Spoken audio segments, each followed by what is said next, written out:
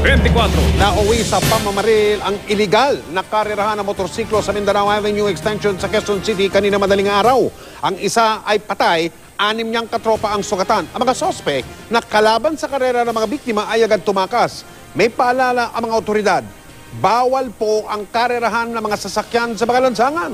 Si Jay Saballe, naka-alerto 24. Kuha sa cellphone ang ganitong practice run ng mga kabataan na nangangarera. Sa bilis ng takbo, halatang pinalakas ang makina ng motorsiklo. Ito ang ginamit ni Jackie Fajaroha sa Mindanao Avenue kanina madaling araw. Pero sa gitna ng karera, namaril ang grupong kalaban nila at napatay ang 22 anyos na si Fajaroha. Anim sa mga katropa niya, sugatan.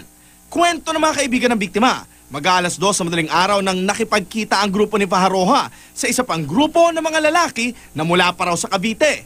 Nagpustahan silang mag-drag race ng motorsiklo.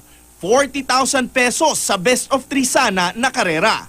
Sa unang bitaw pa lamang sa Mindanao Extension, nanalo raw ang motor ni Paharoha. Pero ang katunggali, imbis na bumalik daw sa starting line para sa ikalawang round ng karera, dumiretso ito sa finish line at nagtangkang umalis. Doon na raw lumapit sina Paharoha para raw pigilan ang pag-alis ng mga kalaban sa karera. gusto na nilang tumakas.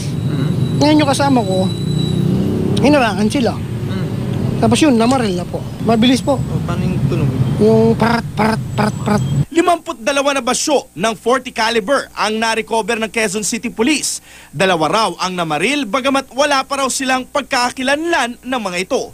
Kung organizer nito o kung sino yon nag-imbita sa both parties between sa suspect at victim, sana makipagtulungan para malinawan namin kung sino talaga itong mga suspect na ito.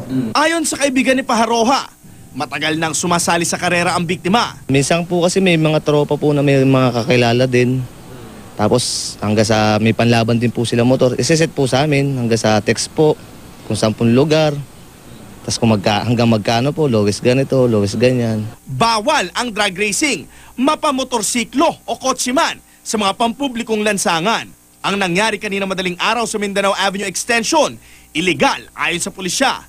Ayon sa QCPD, ngayon lang nila nalamang may illegal drag racing sa lugar. Jay Sabale, nakatutok 24 oras.